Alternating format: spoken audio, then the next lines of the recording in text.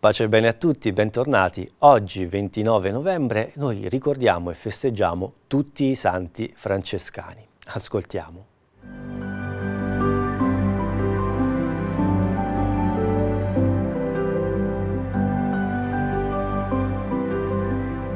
La scelta di celebrare il 29 novembre la festa di tutti i santi dell'ordine serafico cade in occasione della conferma di Papa Onorio III della regola di San Francesco. Si tratta di una moltitudine immensa, recante il segno del Dio vivo, adunata intorno al poverello. San Francesco disse un giorno ai suoi frati, pieno di gioia, Carissimi, confortate e rallegratevi nel Signore. Non vi rattristi il fatto di essere pochi, non vi spaventi la mia e la vostra semplicità, perché, come mi ha rivelato il Signore, Egli ci renderà una innumerevole moltitudine e ci propagherà sino ai confini del mondo. Sono uomini e donne di ogni ceto sociale, stato di vita ed età, sacerdoti e religiosi del primo ordine, clarisse del secondo e laici dell'ordine francescano secolare. Tra loro figure eminenti che si sono distinte per la scienza e la dottrina, altre per il candore della semplicità, illuminando con il fuoco dell'amore il grigiore della quotidianità. Altre ancora hanno testimoniato l'amore di Dio con il martirio e sono anche assai di più di quelli segnati nell'albo canonico dei santi, una schiera infinita di persone umili che hanno vissuto con semplicità il messaggio francescano di pace e bene e che hanno vissuto, ispirati da Francesco, nell'amore di Dio, ritrovando Gesù Cristo in tutte le creature, specialmente nei poveri e negli emarginati, soggetti di carità e non semplicemente oggetto di qualche elemosina o di un'opera pia.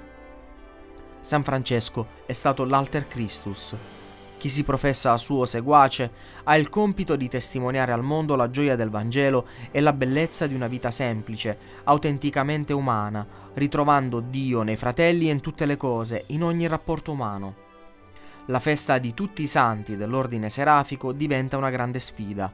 Annunciare al mondo con la vita, con la carità concreta, che il cielo non è vuoto e che ad attenderci c'è qualcuno, il nostro Signore Gesù Cristo la santità è amore concreto per Dio nel prossimo e amare Cristo nei poveri, in ogni persona che ci passa accanto.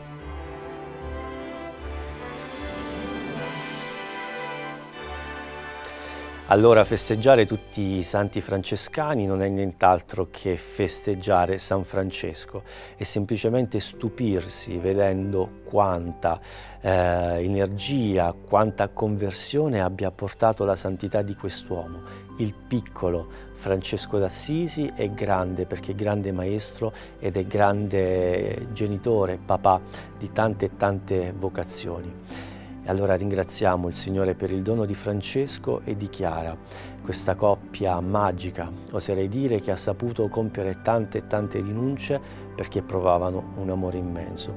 Allora chiediamo al Signore che anche noi possiamo infiammarci come hanno fatto loro e nel nostro piccolo gustare, nel nostro cuore, un po' della dolcezza che loro sperimentavano quando pensavano a Cristo e al suo sacrificio tutti i santi francescani, pregate per noi.